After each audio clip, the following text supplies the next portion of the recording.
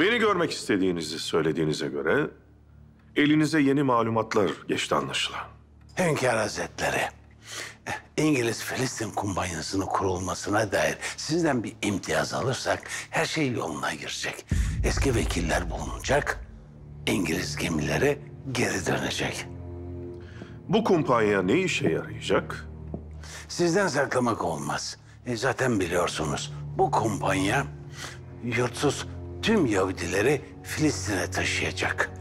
E, heyeti kaçıranlar bunu istiyor. Bizi hiç tanımıyorsunuz anlaşılan Bay Rothschild. Bakın, Kudüs'ü Yavuz Sultan Selim Han fethettiğinden beri miracımız elimizdedir. Miracımızı mı bizden alacaksınız?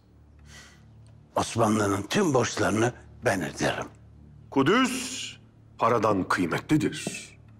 Osmanlı'yı dünya devletlerinin karşısında itibarlı kılarım. Kudüs'ü elinde tutanın itibarı en yüksektedir. Askerlerinize yeni silahlar, ordunuza yeni tüfekler, yeni toplar bağışlarım. Kudüs'ü koruyamayan bir ordu sürüden farksızdır. Bu dünyaya dair ne teklif etseniz Kudüs ondan kıymetlidir efendi.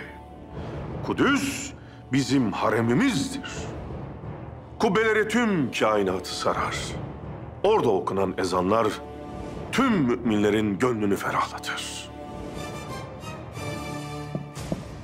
Peygamberimiz sallallahu aleyhi ve sellemin hatırasıdır. Selahaddin Eyyubi'nin emaneti Yavuz Sultan Selim Han'ın fethidir. Şimdi defolun! Gidip o eski vekilleri getirin. Yoksa elimizdeki vesikalar herkesin malumu olur.